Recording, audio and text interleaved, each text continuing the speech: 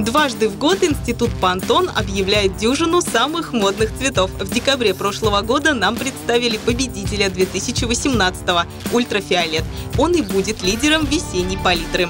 Все наши темы, которые мы заявляли в начале года, это ретро, это женственность э, или романтизм и футуризм, они, конечно, и в палитре тоже будут отражаться.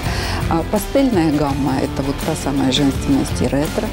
А неоновые оттенки – это как раз вот тот самый футуризм, о котором мы говорим, это технологии, это направленность в будущее и в какой-то степени возвращение в прошлое, в 90-е, 80-е, когда эти цвета были очень популярны. За романтику будут отвечать оттенки фиолетового, лиловый и лавандовый. Комбинируем их с пастельными тонами розового, песочного и небесно-голубого. Получаем очень нежный образ. Либо берем в пару яркие цвета и получаем сочный лук. Цветом достаточно ярким и живым является красный цвет помидорок черри. Его точно так же добавляют как специю ко всем остальным тонам.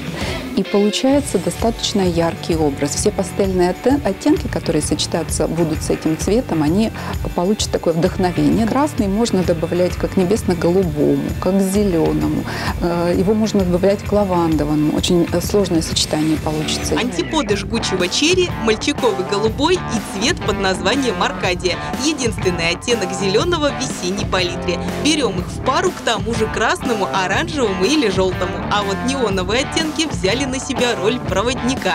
Яркий лаймовый пунш отсылает нас к теме футуризма, одновременно отдавая лоском 80-х 90-х годов пика своей популярности. Достаточно яркости добавляет так называемый лаймовый пунш.